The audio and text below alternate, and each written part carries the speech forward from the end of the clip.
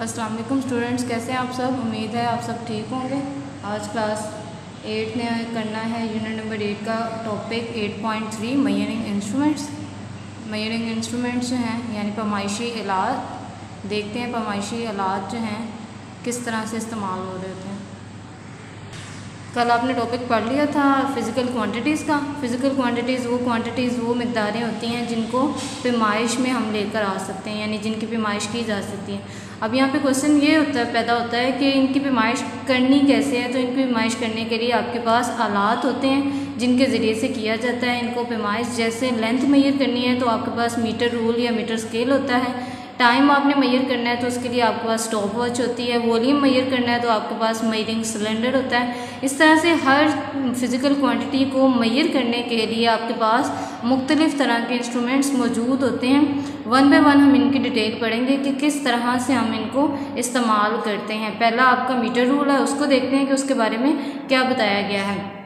Measuring instruments are used to measure various physical quantities मुख्तलिफ़ पैमाइशी जो हैं, चीज़ों की पैमाइश, मकदारों की पैमाइश करने के लिए मयरिंग इंस्ट्रूमेंट पैमाइशी आलात जो हैं वो इस्तेमाल किए जाते हैं। सच एज लेंथ जैसे कि length mass time and volume है। We shall now describe some measuring instruments and their use in laboratory अब लैब में इनका इस्तेमाल जो है, पढ़ते हैं। पहला है आपका metre rule a metre rule is one metre long graduated stick ये एक मीटर लंबी जो है ग्रेजुएटेड यानी दर्जे वाली स्टिक होती है। निशान इस पर लगे होते हैं। ये नीचे आप लोगों को मीटर रूल जो है, वो नज़र आ रहा है। ठीक है? इसमें आपको पॉइंट ग्रेजुएटेड स्टिक जो है, वो इस तरह से है कि ज़ीरो वन टू ये इसके जो हैं। दर्जात जो हैं, उन्होंने बनाए हुए हैं और ये दर्जात जो हैं सेंटीमीटर या मीटर या मिलीमीटर को रिप्रेजेंट करेंगे। एंड पे अगर आप देखो तो यहाँ पर नीचे उन्होंने सेंटीमीटर लिखा हुआ है। यानी ये जो है दर्जा, ये आपको सेंटीमीटर को रिप्रेजेंट कर रहा है। पढ़ते हैं ये इसकी आपकी डेफिनेशन थी जो आप मार्क करेंगे।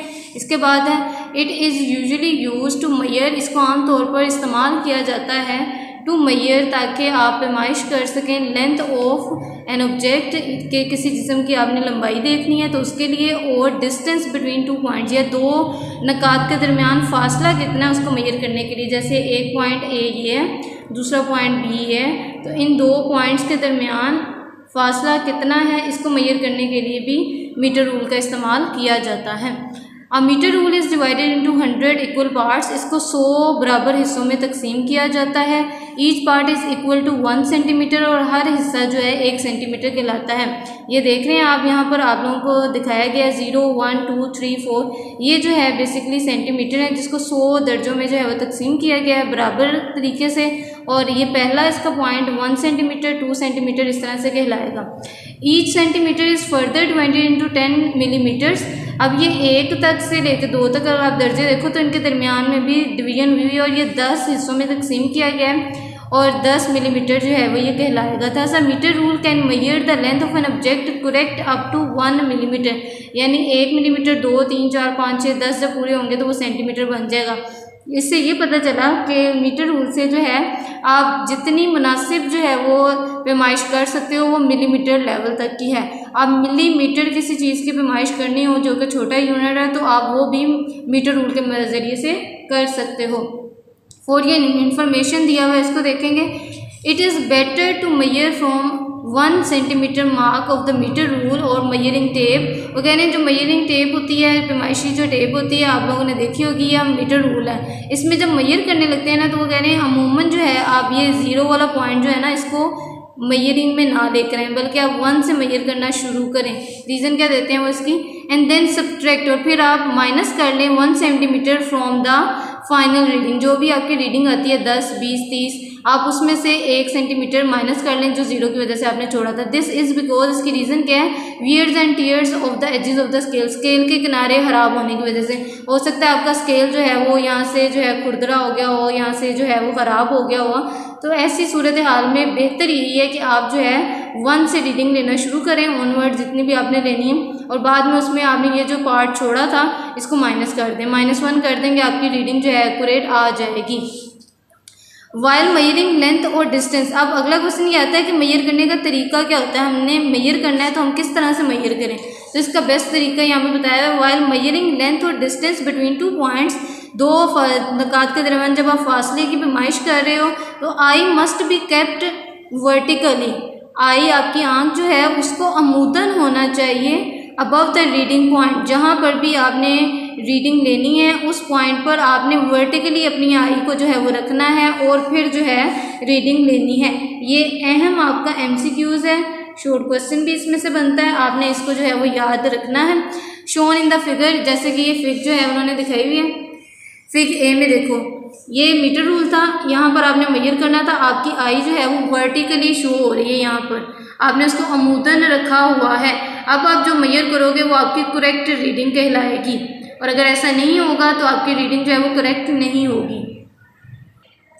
If the I O is position either left अगर आप अपनी आँख को जो है वो रखते हो बाएँ जानब और right to the measuring point या दाएँ जानब रखते हो जहाँ से आपने मैयर करना है the reading will be become doubtful तो आपकी रीडिंग जो है वो मशकूक हो जाएगी. डाउटफुल यानी मशकूक हो जाएगी, वो दुरुस्त नहीं कहलाएगी. अगर आप फिग में देखो तो आपको ये चीज़ नज़र आएगी.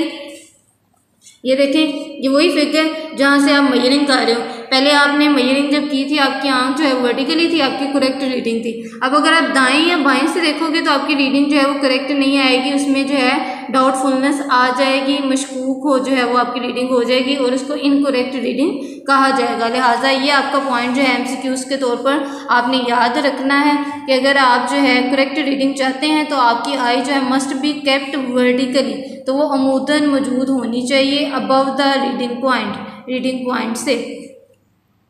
नेक्स्ट एक एक्टिविटी भी उन्होंने दी हुई है। हम इस एक्टिविटी को पढ़ते हैं। Measure the length of a plate with the help of a metre rule आपने एक प्लेट जो है, उसकी लेंथ मैयर करनी है। ये देखो, ये प्लेट उन्होंने नीचे रखी हुई है और उसके ऊपर मीटर रूल जो है वो रखा हुआ है। ये वियर एंड टीयर्स भी आपको नज़र आ रहे हैं मीटर रूल के, ठीक है?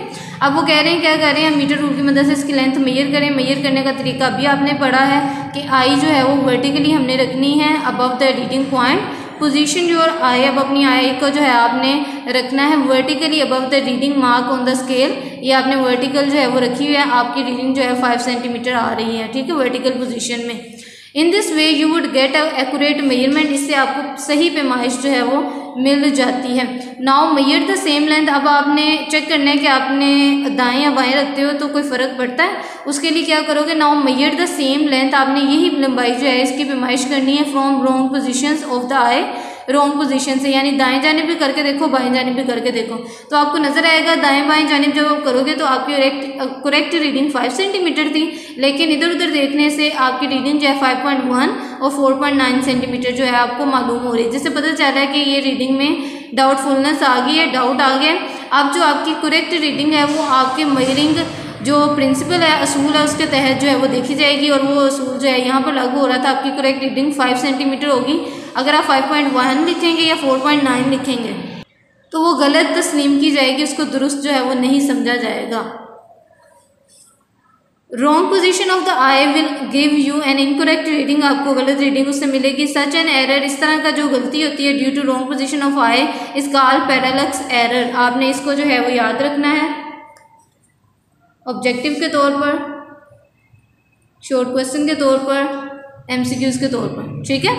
ऐसा एरर जिसमें आपकी पोजीशन जो है आई की गलत होती है, उसे पैरालक्स एरर बोला जाता है। नेक्स्ट आपकी मिनी एक्सरसाइज है, जो कि इंशाल्लाह हम इसके जो है नेक्स्ट लेक्चर में करेंगे। तब तक के लिए stay in touch stay safe अल्लाह हाफिज़।